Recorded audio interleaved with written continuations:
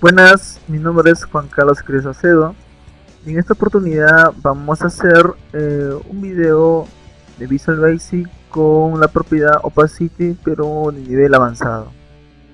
Bien, vamos a empezar a trabajar, para eso tengo que abrir mi Visual Basic 2010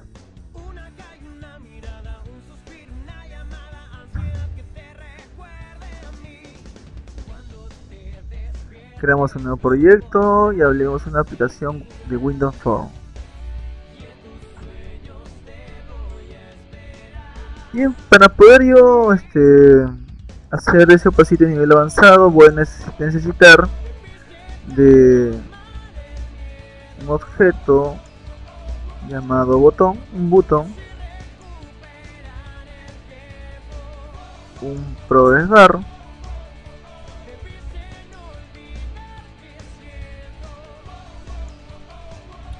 3 timer. 1 2 3 timer.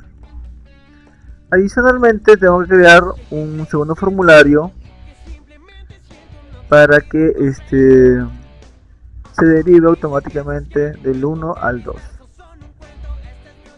ya está mi segundo formulario. Vamos a renombrar nuestro nombre nuestro botón le llamaremos mm, ingresar listo acá tengo ya mi mi progress bar perfecto bien. Doble clic en el botón ingresar.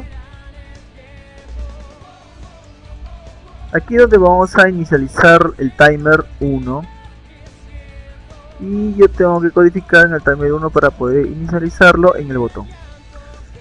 Bien inicializamos eh, la programación del timer 1 vamos el timer 1 nos servirá a nosotros para controlar lo que es el objeto progress bar. El timer 1 controlará el objeto progress bar. Para eso llamamos al progress bar. Progress bar 1.increment diríamos que incrementará en un valor de 10 y diremos si el progress bar 1.value es igual a 100 entonces eh, se inicializará el segundo timer que es el número 2 punto start entonces en el botón 1 yo tengo que codificar aquí en este botón 1 tengo que codificar que el timer 1 se va a inicializar. Punto start. Nada más. Eso es lo que tengo que codificar en el timer 1. Bien, ahora como el progress bar que vemos acá eh, avanzará hasta llegar a 100% y una vez que termine el timer 1 inicializará. Ahora, pero el timer 1, digo, el timer 2 inicializará. Recuerda que el timer 1 controla el progress bar y el timer 2 controlará la opacidad en la cual desaparecerá y el timer 3 controlará la opacidad en la cual aparecerá el formulario número 2. Bien, para eso tengo que codificar eh, mi timer 2. Recuerda que una vez que llegue al 100% va a inicializar el timer 2 y yo tengo que programarlo aquí. Para eso diré mi opacity eh, es igual a mi opacity, mi punto opacity, eh, menos 0.1. Por ejemplo, para que de, de 0.1 en 0.1. Y de si mi punto opacity es menor o igual a 0, entonces, menor o igual a 0, entonces mi punto high quiere decir que se ocultará el formulario número 1 y el formulario número 2 aparecerá. Mi punto show. Entonces tengo que detener mi timer 1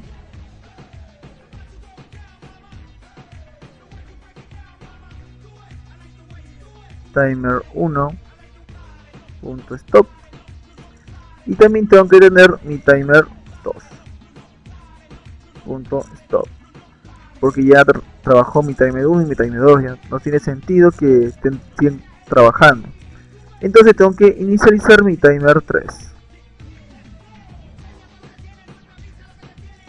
Ahora, recuerda que en el formulario, en el botón, estoy inicializando mi timer 1.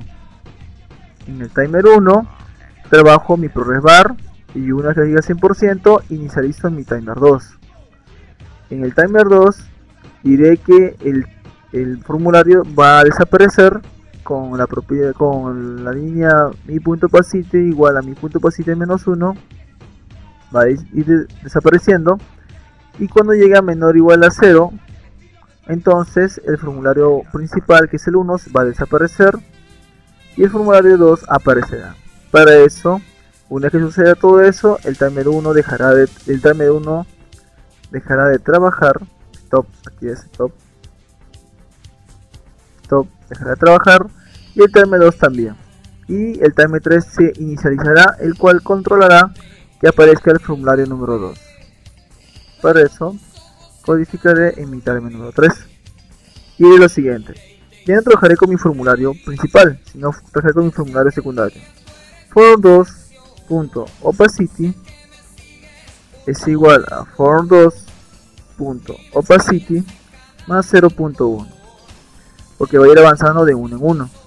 Ahora si mi quiere decir mi formulario principal recuerda que en el formulario número 2 está en 0 en el formulario 1 tiene que haber llegado a 100 si mi punto opacity es igual a 100 entonces el timer 3 se detendrá. Nada más. Para eso yo tengo que colocar mi formulario número 2 en su propiedad opacity en 0%. ¿Listo? Ahora diré lo siguiente, mira. Hasta que me entendiste que el timer 2 ocultará el formulario número 1 y si es menor o igual a 0 entonces se ocultará el, número 1 y el número 2 aparecerá. El timer 1 se detendrá igual que el 2 y el 3 se inicializará. Entonces en el 3 que coloco digo que mi formulario número 2 el 2 me refiero a este el 2 su opacidad aumentará 0.1 hasta que aparezca obviamente. Pero también diré si mi punto opacity es igual a 100% digo otras palabras 100 quiere decir que este formulario una vez que desaparezca o aparezca al 100% entonces el timer 3 se detendrá.